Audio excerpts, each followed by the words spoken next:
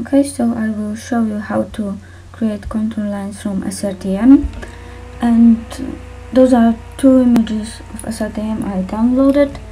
And I want to merge merge them. So go to raster miscellaneous merge.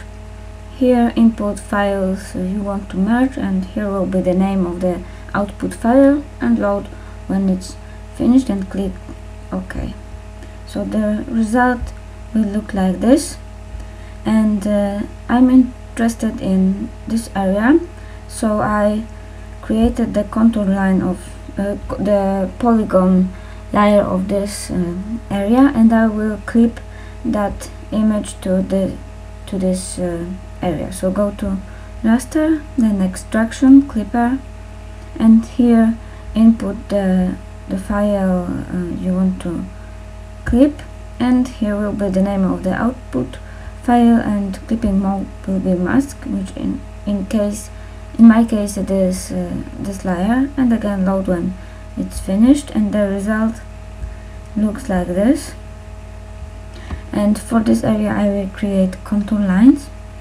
So go to raster extraction contour and uh, here is the name of the um, SRTM layer and the name of the output file and again the, the interval which in my case was 50 and check the attribute name which is elevation and load when it's finished. So the result will look like this. And when you look closer you will see that there are some small objects and they look a little bit uh, strange. So I will get rid of them. So to do this go to generalizer and choose the uh, layer with contour, contour lines. And uh, this algorithm will be remove small objects. And for me the threshold was 0.01 but it might be different.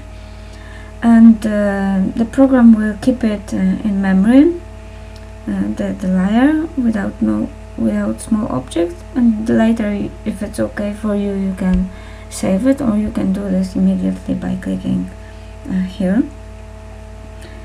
And the result looks like this. So there is no uh, small objects but the, still the contour lines are a little bit sharp and I want them to be smooth. So again go to generalizer choose the layer without small objects and change the algorithm for Boyle's forward looking algorithm and in my case the value was 5 but it might be different depends on you. And again the program will keep it in memory or you can save it immediately. And the result looks like this